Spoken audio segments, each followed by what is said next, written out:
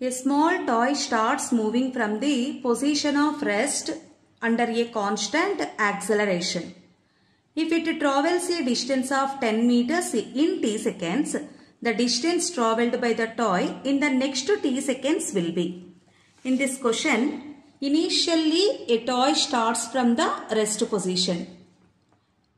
Let it be A. At A point, initial velocity of the toy is 0 meter per second. After time t seconds, this toy covers a distance uh, 10 meters with a constant acceleration. Take this point is P.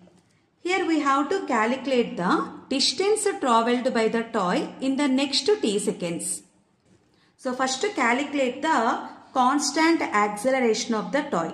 So toy is moving with constant acceleration. So take equations of motion. S is equals to ut plus half at square.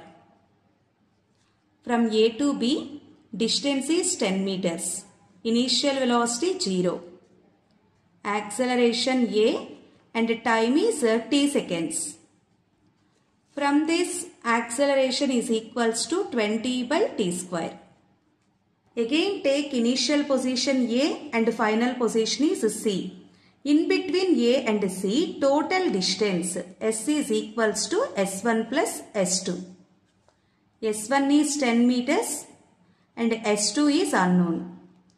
Total time is equals to T1 plus T2. 2t seconds. And here acceleration is 20 by t square. Take again equations of motion S is equals to ut plus half at square.